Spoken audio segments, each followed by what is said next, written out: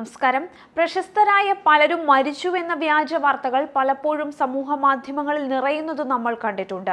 കേട്ട പാതി കേൾക്കാത്ത പാതി ഇത്തരം വാർത്തകൾ ഷെയർ ചെയ്യുന്നവരാണ് മലയാളികൾ പോലും എന്നതാണ് ഞെട്ടിക്കുന്ന വസ്തുത.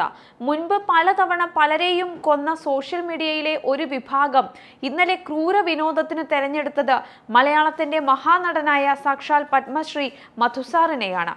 നിരവധി ആളുകൾ അദ്ദേഹം മരിച്ചു എന്ന് തെറ്റിദ്ധരിച്ചുകൊണ്ട് സമൂഹ മാധ്യമങ്ങളിൽ ആദരാഞ്ജലികൾ അർപ്പിച്ച് രംഗത്തെത്തിയിരുന്നു. ഇപ്പോഴിതാ വിഷയത്തിൽ പ്രതികരണവുമായി മധുസാർ തന്നെ രംഗത്തെത്തിയിരിക്കുകയാണ്.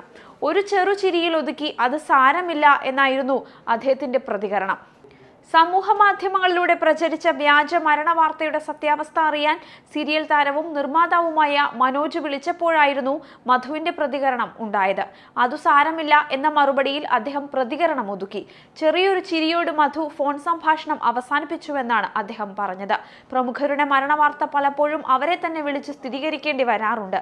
ചിലർ നിയമ നടപടികളുമായി മുന്നോട്ട് പോകുമ്പോൾ ചിലർ മധുസാർ ചെയ്തതുപോലെ ചിരിച്ചു തള്ളും. നടൻ ജഗതി ശ്രീകുമാർ രേഖ ഗായിക എസ് ജാനകി നൽകി ക്രിക്കറ്റ് താരം സുരേഷ് റെയ്ന തുടങ്ങിയവരെക്കുറിച്ചും ഇത്തരത്തിൽ വ്യാജമരണ വാർത്തകൾ പ്രചരിച്ചിരുന്നു. മുൻപ് നടി കനക മരിച്ചുവെന്ന വാർത്ത പ്രചരിച്ചപ്പോൾ താൻ മരിച്ചിട്ടില്ല എന്ന് നേരിട്ട് മാധ്യമങ്ങൾക്ക് മുന്നിലെത്തിയാണ് അവർ പ്രതികരിച്ചത്.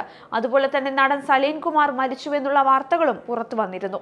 ചലച്ചിത്ര താരം മധു അന്തരിച്ചു എന്ന തരത്തിൽ വ്യാജ വാർത്തകൾ പ്രചരിപ്പിച്ചവർക്കെതിരെ അടിയന്തരമായി നടപടിയെടുക്കാൻ അതേസമയം മുഖ്യമന്ത്രിയുടെ ഓഫീസ് പോലീസിനിപ്പോൾ നിർദ്ദേശം നൽകിയിരിക്കുകയാണ്.